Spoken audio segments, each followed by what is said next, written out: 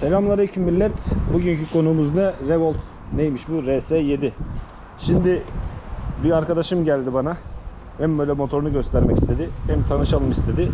Ben dedim eyvallah Allah razı olsun.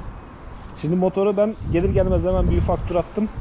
Birazdan onları sana kendi fikirlerimi söyleyeceğim ama Şimdi ben aslında motorun sahibi kardeşim. Senin ismin neydi ben? Murat. Heh, Murat, Murat Adaşlık Bey'di. doğru. Unutmam bir daha. Murat arkadaşımın motoru bu. Ne zaman aldın bunu hacı? Bir ay geçti abi. Bir ayı oldu. geçti mi? Evet. Kilometren kaç olmuş bakayım. 800 lira yaklaştı evine. 800'desin. 804. kilometrede. Kaç paraya aldın bunu? Abi 11 bin lira. 11. 11 lira. Yani böyle bir motor için güzel bir fiyat. Evet. Yakıt ne yakıyor? Ben onu merak ediyordum hep. Abi 3 litre yakıyor. 3 litre ortalamayla Yirmi. geziyorsun bu motorla. Kilon kaç? Abi 107. 107 kiloda 3 litre yakıt bence gayet güzel abi. Şehir içi kullanılır değil mi genelde? Tabii, şehir içi. Şehir içi. Vallahi yakıt da gayet güzel.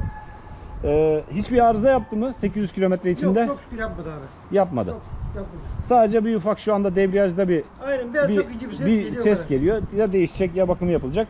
Bir de galiba egzozda çok hafif bir zırıltı var. Onu da garantiden hallettirirsin diye umuyorum. Çünkü ben görüyorum forumlarda garantiden egzoz problemleri olan RS1 vardı. RS5 miydi? Neyse. Onlarda değiştiklerini biliyordum. Lastikler orijinal nasıl gelmiş? Yani yerli malı lastik kullanmışlar.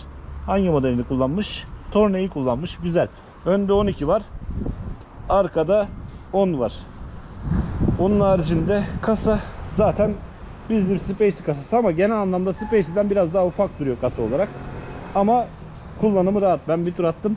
Güzel. Sen Aynen. de rahat sığıyor musun? Tabii rahatım Bir abi. otursana bakayım üstüne. Arkadaşlar görsün. Senin sen kalıplı bir adamsın. Kalıplı bir adam da şu şekilde duruyor. Bakın arkadaşlar. Evet güzel.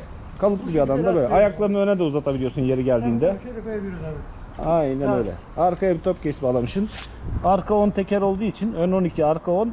O yüzden yere biraz yakın. Biraz set, set yüksek setlerde ama ayaklık sürtüyordur ara sıra kesin. Çok hafif. Yavaş Çok hafif gel- ince normal. O arkası 10 tekerli motorlarda bu normal. yavaş Süs, gel gittiğim için sorun olmuyor. süspansiyon sertliği sence nasıl? Bence iyi abi. İdeal değil mi? Ben de öyle hissettim. Ne çok sert ne çok yumuşak. Bence kıvamında. Frenler de orta halli. Güzel. Ama şurada baştan söyleyelim. Bu tarz Çin malı motorların genelde çok fazla bir standardı olmaz. Hani bu motor iyi gider. Aynı motorun bir başkasındaki biraz daha az gider. Bunun süspansiyonları biraz sert olur. Öbürününki biraz daha yumuşak olabilir. Biri biraz daha fazla yakıp diğeri biraz daha az yakabilir. Bu tarz motorların, Çin menşeili motorların standartı çok fazla yok aslında. Sana güzel denk gelmiş ben bir tur attım. İşin açıkçası motoru beğendim. Performansını beğendim. 125 cc'ye göre gaz tepkisi güzel arkadaşlar. Bu arada motor karbüratörü değil, enjeksiyonlu. Euro 4, Euro 5 denilen dalgalar bu motorda mevcut. Veya 6 bilemiyorum artık Euro kaçlara geldi. Ee, onun da kitabına uydurmuşlar yani. Onun haricinde şöyle motora baktığım zaman sel altı ne durumdaymış ya dur bakayım. Sel altı evet yani ufak sayılır. Kask açık veya kapalı kask buraya sığmaz. Deposu kaç litre acaba bunun?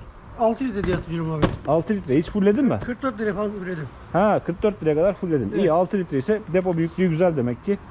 O da iş görür.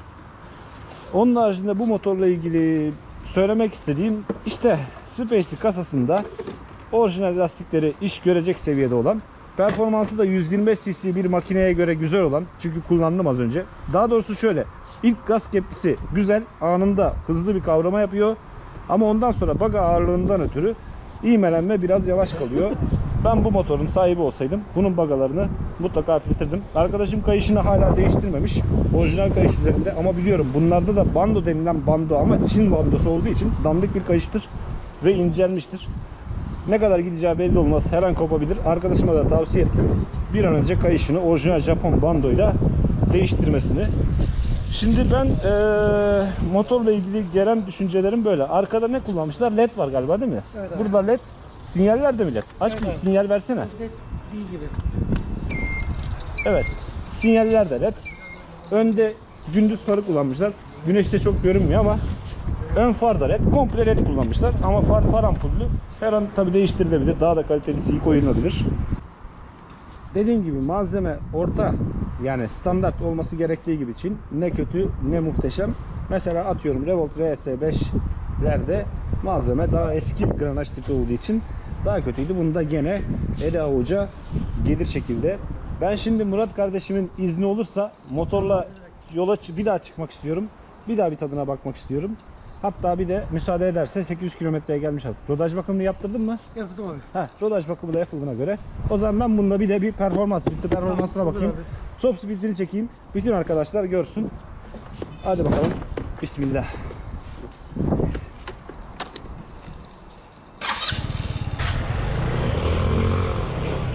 Evet arkadaşlar. Şimdi motorda benzin ücreti oynuyor. Şamandıranın değişmesi lazım galiba.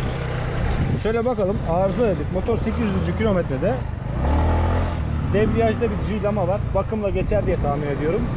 Bir de egzozdan çok hafif zırıltımız var. O da garantiden hallederler herhalde. Çünkü zaten rodaj bakımı yaptırmış. Başka şöyle bakayım. Çok hafif kurs takımı gevşek. Bütün Çinlilerde olabileceği gibi. Mı daha on numara olur. Ama şase güzel. Şöyle bakalım.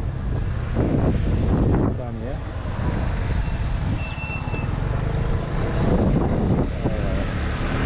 Düzlüğe çıkalım.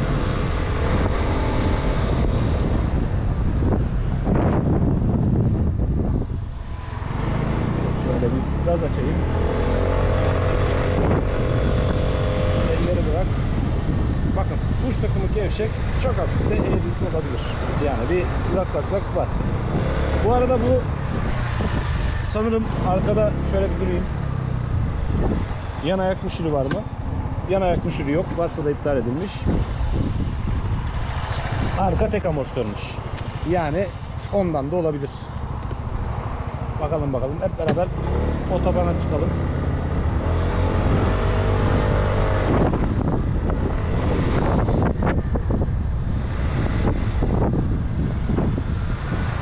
Telefondan GPS uygulaması açmama gerek yok. Zaten kameramda mevcut.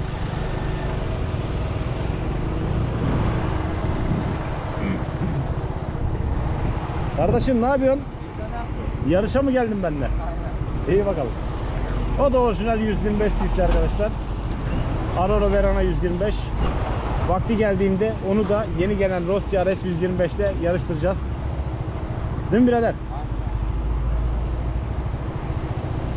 O da enjeksiyonlu, bu da enjeksiyonlu. Ama bunun gaz tepkisi, ilk gaz tepkisi ona göre daha iyi şu anda.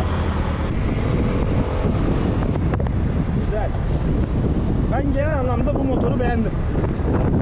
Şimdi bakalım her zaman top speed denediğimiz yolda bu motor ne yapacak arkadaşlar. Hadi bismillah deneyelim.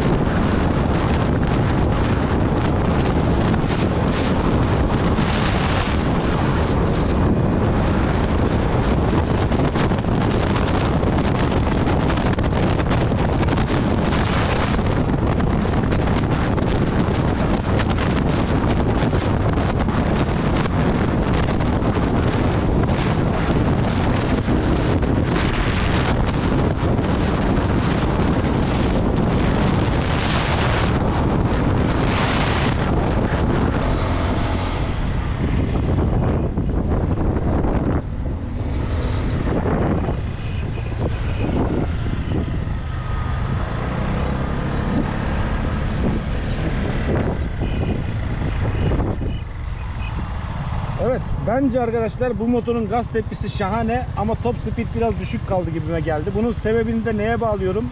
Ya şanzıman dişlisi kısa o yüzden zaten atik ya da dediğim gibi orijinal kayış incelmiş birader dandik kayış ya.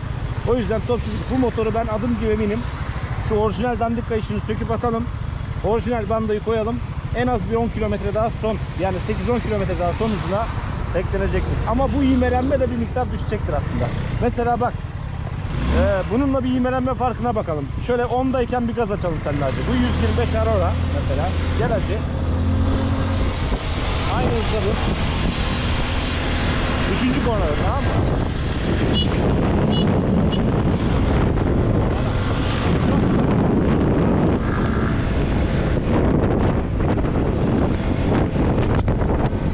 Oğlum ben unuttum.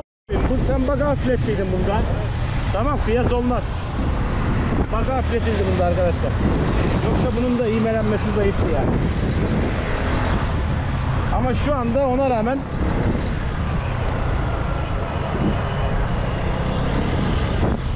Ama sıfırdan kalkışta bu gene alır. Gel lan. Sıfırdan kalkacağım. İnat et. Sıfırdan alır. Sıfırdan. Üçüncü kornada tamam mı? Hadi bak götünü kaldırarak.